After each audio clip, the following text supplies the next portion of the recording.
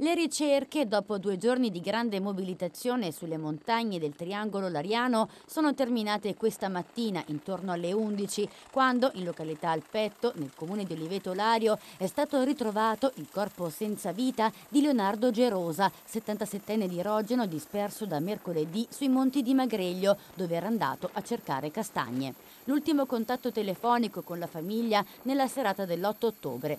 Gerosa si stava dirigendo verso l'automobile per tornare a casa quando si è accorto di non avere più le chiavi della macchina ed è quindi tornato nei boschi per cercarle.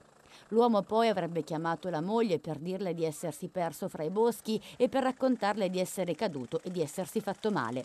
Dopo l'ultima telefonata con la famiglia, nella serata di mercoledì, dell'uomo si sono perse le tracce. Coordinate dal comando provinciale di Como dei Carabinieri, le ricerche sono partite immediatamente.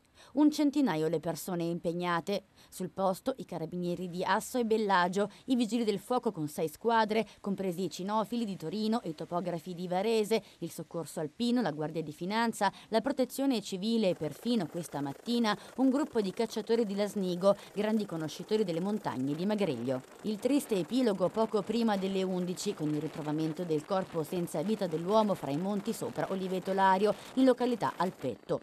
Ancora da accertare le cause del decesso. Il corpo è a disposizione dell'autorità giudiziaria di Lecco.